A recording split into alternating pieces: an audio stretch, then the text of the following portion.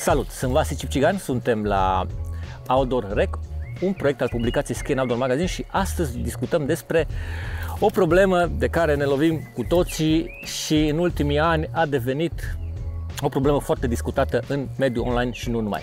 Despre căpușe. L-am lângă mine pe Gianluca, salut! Salut, Vasile! Salutare! Și vreau să te prezint în câteva cuvinte, să începem așa cu o mică prezentare de-a ta. Bun, numele meu este Gianluca D'Amico, cadru didactic la Facultatea de Medicină Veterinară, veterinar și parazitolog. Și o parte bună din uh, cercetările mele pentru doctorat și în continuare sunt legate de capușe. Ok, Gianluca, ce sunt căpușele? Bun, căpușele sunt în primul rând artropode parazite, hematofage și majoritatea dintre ele au ca și gazde, ca și uh, gazde preferențiale animale sălbatice, domestice, dar din păcate și omul. Majoritatea speciilor parazitează uh, mamiferele în general, dar și omul. Unde le putem găsi cel mai des? Vasile, îmi pare rău să-ți dau o veste prostă, dar le putem găsi peste tot. Chiar sunt foarte, foarte răspândite.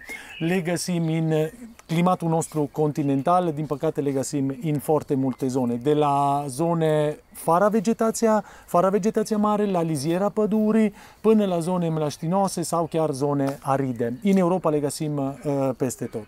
Așa, deci nu doar în jurul stânelor sau unde sunt nu, oi sau animale nu, multe? Nu, nu, nu, nu. Absolut. Limita, dacă există o limită pentru căpușă, este o limită de altitudine. De obicei nu le găsim peste, cel puțin în Europa, peste 1500 de metri. Nu găsim căpușe peste 1500 de metri. Da, știm cu toții că se ajunge la peste 1500 de metri, te plimbi la altitudine mai joasă și acolo de de obicei culegem, culegem căpușe.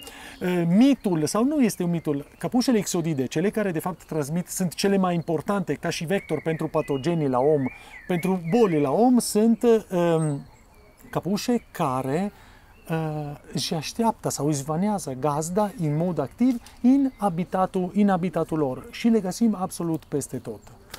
Uh, putem lua și din copaci căpușe, de pe frunze, de pe crengi sau doar din iarbă? Uh, capușele au, capușe, cele mai multe specii au un comportament de tip questing. Ele de fapt așteaptă chiar așa cum fac eu, chiar așa, așteaptă prada, așteaptă gazda și se lasă pe ea. Sunt legende că sar, căpușele nu sar, nu se aruncă, nu, ele pur și simplu detectează prada, eh, detectează gazda cu dioxid de carbon. În principal sunt vibrațiile și dioxid de carbon, oxigenul, respirația noastră le atrage de fapt și se lasă pe ea. Așa că depinde de unde s-a urcat. De, mult, de cele mai multe ori ele nu stau la înălțime mare, dar nu e imposibil să vină de un, de un copac la un metru jumate, fără nicio problemă, fără nicio problemă.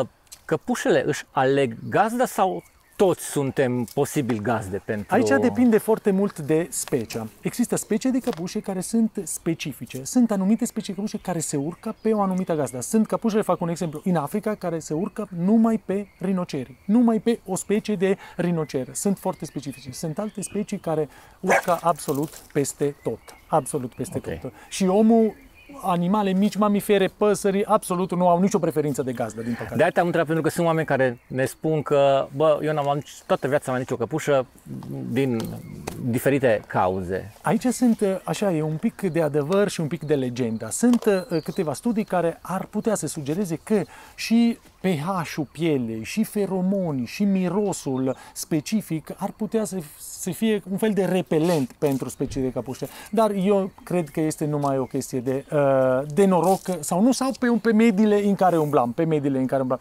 O persoană care merge în outdoor, evident mai expusă, mult mai expusă la capușe față de o persoană care are o viață destul de, destul de sedentară. Și mi-ai deschis subiectul. O persoană care merge în outdoor, cum prevenim să nu luăm căpușe? Sunt metode prin care putem preveni sau cu siguranță trebuie să... Bun, iar îți dau o veste, iar îți dau o veste destul de neplăcută. Uh, o metodă care funcționează 100% și nu luăm căpușe nu există, din păcate. Trebuie să adoptăm o serie de uh, comportamente care previn uh, nu mușcătura de căpușă în sine, ci timpul în care căpușa rămâne pe, pe corpul tău, pe tine și uh, faptul de a detecta sau nu anumite boli. Ok? Asta e ce, ceea ce putem face. Și ce recomandă întotdeauna, dacă trecem la recomandări, că astea sunt uh, importante, ce recomand? Întotdeauna să ne verificăm. o de fiecare dată când ieșim în mediu, în outdoor, ajungem acasă să ne verificăm. Timpul de hrănire, timpul pe care căpușa sta pe om sau pe animale, același lucru, contează foarte mult. De, cu atâta mai puțin, prin absurd, o căpușă care rămâne câteva ore, doar câteva ore, are șanse infime de a transmite patogenii. Noi tot timpul vorbim de boala Lyme, asta okay. e, cel mai, e cel mai important. Cu atâta o căpușă sta mai mult, cu atâta șansele cresc de, de, de a transmite patogenii cresc mult mai mult și asta e important. Cum transmite căpușa? patogene. Bun, aici e un mecanism destul de complicat. Lumea crede că căpușa vine, a, se urcă pe tine, te mușcă și pleacă. Nu, e un complex, de, e un complex, un comportament destul de complex. Căpușa, primul lucru, se, se alege locul. Și alege locul. De obicei alege locul unde pielea e mai fină, un loc mai ascuns. După care se fixează, secretă un ciment, așa se și numește, ca un lipici cu care se fixează și acolo rămâne fixată și numai după o vreme începe procesul de hranire. Dar pentru noi problema este saliva capușelor saliva capușelor, grande salivare a capușelor, saliva capușelor conțin, acolo sunt patogeni și acei patogeni se activează prin consum de sânge și vor migra la glande salivare și așa ajung la gazda. Bun, poți să mă întrebi, dar bun, ce legătură, de ce capușă ne scuipă ă, saliva? Saliva capușilor are acțiune anti anticoagulantă și anestezică. Și atunci căpușa în continuu secretă saliva și le regurgitează saliva în corpul gazdelor, omul în cazul de față. Hainele pe care le folosim când mergem uh, în natură, în outdoor, sunt importante pentru a preveni, să zicem? Hainele sunt importante, culoarea lor, hainele deschise la culoare. Nu pentru că căpușa au o preferință sau nu au fost speculații în legătură cu asta, nu. Hainele deschise la culoare sunt mult mai uh, ușor de verificate și, și, și de controlate. Așa că pe hainele deschise se văd. Ce recomand întotdeauna sunt hainele lungi. Știu că nu ne place, știu că nu e, dar șosete lungi, maneca lungă, pantaloni lungi și mai antiestetic, dar și mai util, șosete puse deasupra pantaloni, o șapcuță în cap, foarte important. Astea sunt uh, cu adevărat ceea ce se poate face. Există pe piață anumite, anumite substan- uh, hainele impregnate cu substanțe uh, um, repelente pentru capușe, dar au o durată, cu primele spălări de obicei se, se pierde acest efect, așa că nu e atât de important. Substanțele care le găsim în farmacie împotriva căpușa, acele brățări, funcționează, dar uh, din câte știu doar pentru câteva ore sau nu întotdeauna foarte bine? Uh, acum să vă spun din experiența mea, din câteva mii de căpușe recoltate de pe om, la mine au venit, la noi la facultate, au venit oamenii cu brățala și fără brățala. Nu zic că nu ajută, dar cu siguranță nu putem să stăm liniștiți, nu, nu fa, am brățala, nu se urcă căpușa pe mine, nu, nu. Efecte repelente foarte mic și pe o perioadă foarte scurtă, așa că nu ne salvează 100%. Ok. Uh, ce e important, după fiecare tură montană, fiecare tură natură, să ne verificăm tot corpul și mai ales zonele mai ascunse. Zonele mai ascunse, acolo sunt probleme mai mari. De exemplu, uh, părinții care își verifică copiii, în zone unde nu, nu avem păr, în zonele nu născut, vizibile, e foarte ușor să detectezi o capușă. Dar atenție mare, să nu credeți că toate capușele sunt ditai capușa mare. Nu, majoritatea, spe, majoritatea stadii de dezvoltare, larve și nimfe, sunt foarte, foarte mici. O larva nehranită luată de pe sol e aproape transparentă. O vezi numai dacă te uiți super atent. Și atunci verificarea corpului e foarte importantă și zone, de exemplu, cu păr. Zone, când vorbim de zone ascunse, la copii. Eu am avut cele mai mari capușe de pe copii, l-am, l-am extras sau l-au adus părinții din zona capului, unde sunt ascunse cu, cu păr. Și e foarte important verificarea pentru că capușe nu stau la infinit pe gazda, nu stau la infinit pe noi. O larva, o ninfa, sta 2-3 zile, 5 zile maxim și apoi pica. De aici problema majoritatea oamenilor cu boala Lyme, cu diagnostic de boala Lyme, nu știu de o mușcătură de capușă. Pentru că mușcătura de capușă de cele mai multe ori trece neobservată. Pentru că pica în câteva zile sau pur și simplu o persoană respectivă se, se scarpină capușa, pică jos și gata, tu nu ai văzut nimic. Simțim căpușa când se urcă pe noi.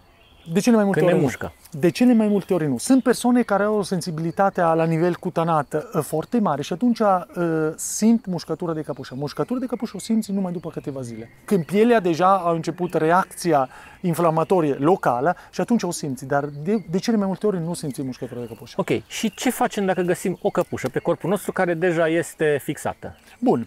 Am găsit o capușă, nu ne panicam. Primul lucru, nu ne panicam. Uh, o recomandare, de cele mai multe ori nu trebuie mers la spital, nu trebuie mers la urgență să scoți o capușă. E o mai chestie... ales anul trecut, în perioada pandemiei, să te duci și... Exact, da. să aglomerezi uh, UPU pentru o capușă mi se pare un pic exagerată. Okay. Avem foarte multe uh, metode pentru a scoate o capușă, de la o simplă pensetă, care se folosesc, care cu toți avem în casa, până la anumite scule de genul asta, care se găsește în orice pet shop, farmacia veterinară, cu care o putem scoate fără nicio problemă. Uh, o scoatem cât de repede posibil, nu o scoatem cu legende și metodele empirice care le-ați văzut cu tot, de la chibiritul la alcool, la motorina, benzina, țuică, nu. Capușa se scoate pur și simplu prin ușoară tragere și, dacă dorim, o ușoară rotire, atâta tot, și o prindem cât de aproape de pielea. Niciodată să nu prindem o capușă din zona abdomenului, pentru că facem ca o pompiță. Exact. O storcem exact tot ce nu ne-o transmis, așa o facem noi. Transmite, și, exact, da. așa facem noi. Acest lucru îl facem, îl facem noi. Așa că, primul lucru, scoatem capușa. Ce recomand eu? Trebuie identificată. Nu toate specii de capușă transmit toți patogenii. De exemplu, boala Lyme în Europa, Borrelia, o transmite o singură specie în principal, Ixodes ricinus, în proporție de 99% Ixodes ricinus. Și dacă discutam de o altă specie de capușă, pentru bolalem nu există nicio, niciun risc. E ca și cum te-ar mușca un șarpe care nu este veninos. Nu okay. reprezintă niciun risc. Și atunci ar fi important să identificăm acea specie de capușă. Acest lucru se poate face. De exemplu, în Cluj, la noi, la Facultatea de Medicină Veterinară, la, la disciplina de parazitologie. Și chiar eu sau colegii mei ne ocupam cu identificare. Odată ce am identificat capușa, discutam. Dacă e vorba de specie care reprezintă un pericol, discutam ceva, dacă e vorba de o altă specie, discutam cu totul și totul altceva și de acolo se pornește.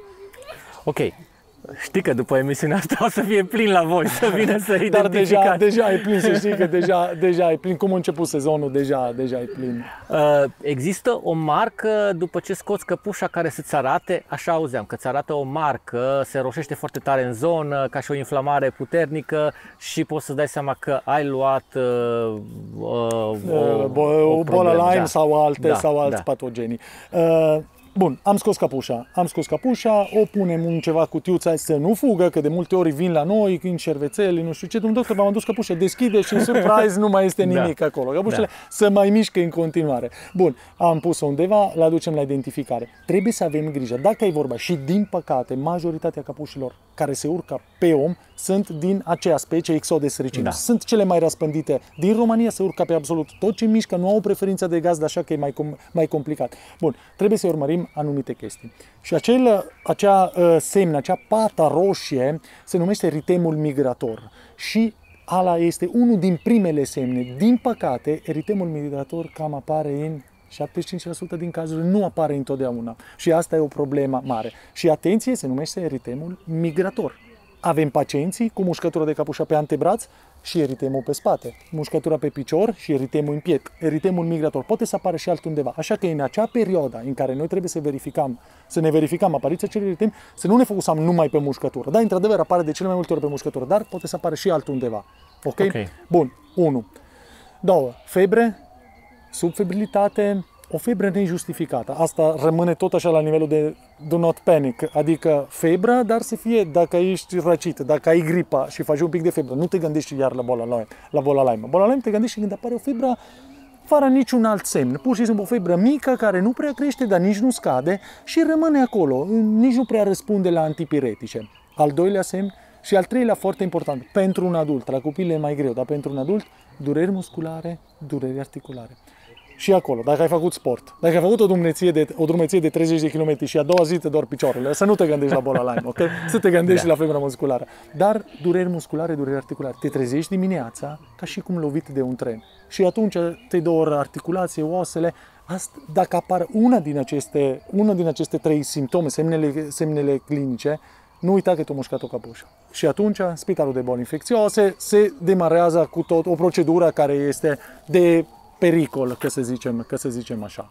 Uh, Există zone, există o hartă în zona orașelor sau la nivel național unde sunt mai multe căpușe, unde se găsesc de obicei? Bun, aici, aici uh, noi avem, uh, împreună cu colegii, avem mai, mult, mai multe uh, studii pe România și din păcate situația este destul de, destul de uh, gravă în legătură cu acea specie de Exodes ricinus. O găsim de la parcurile din oraș până la uh, zone de lizieră pădurii, până la zone de tufariș, absolut, absolut peste tot. Repet, singura limite sunt zonele de plajă, ca să zicem așa, și peste 1500 de metri. În rest le găsim peste tot. Și din păcate nu, uh, nu există o zonă din România unde avem mai puțin, mai multe. Nu, sunt răspândite cam, uh, cam destul de uniform în toată România, dar în toată Europa, de fapt. La animalele de companie, sunt periculoase căpușele pentru ele? Pentru da. că chiar pot să ia destul de multe și... Absolut, absolut. Animalele de companie pot să iau capușe, la fel, așa chiar mai bine sunt gazdele naturale, de fapt, ale capușelor și uh, sunt periculoase, de obicei sunt alți patogeni. Adică, de exemplu, la câine, unul din cei mai periculoși patogeni transmise de căpușe se numește babesioza. Probabil ați auzit de babesioza. Bun, la om nu reprezintă un pericol. Uh, boala Lyme există și la câini, borelioza există și la câini, dar cu o simptomatologie cu diferită și mult mai uh, ok față de, față de ce se întâmplă la om, dar absolut sunt, uh, sunt foarte periculoase și pentru, și pentru câini. Și acum să concluzionăm. Uh, în primul rând, atenție, nu? Atenție la noi, atenție să ne verificăm. În al doilea rând, îmbrăcăminte corespunzătoare, îmbrăcăminte lungă, deschisă la culoare pentru a vedea căpușele dacă și, în al treilea rând, tot atenție. Să... Atenție, evităm. Evităm dacă avem o potecă. Mergem pe potecă. Evităm să ieșim din potecă și mergem în zone cu, cu iarbă, cu vegetația mare. Dar și în curte putem evita. Adică dacă avem o curte, iarba în perioada, că căpușele au o, o, o perioadă de vârf de activitate, care acum, primăvara, și apoi va veni al doilea vârf în început de toamnă, septembrie-octombrie. Vara, căpușele se tem de căldură mare, se tem de dezhidratare și atunci vara nu se le găsim niciodată în iarba la soare. Nu, trebuie să evităm, să evităm zone cu umbra, de exemplu, dacă ne vrem să ne așezăm undeva, să ne uităm în jurul nostru. Dacă avem o curte, iarba tot timpul tunță foarte scurt. Evităm grămezii de crenge în curte. Alea sunt un adăpost perfect pentru capușe și de multe ori, adoptând aceste mici atenție, putem evita o situație, o situație ne, neplăcută. Gianluca, mulțumim tare mult! Uh, dacă aveți întrebări, puteți să ni le adresați pe pagina noastră de Facebook și noi o să le transmitem la Gianluca și cu siguranță o să vă răspundem în cel mai scurt timp. Sunt Vasti Cipcigan, suntem la Outdoor Rec, la emisiunea care vă educă să mergeți conștient și responsabil pe munte.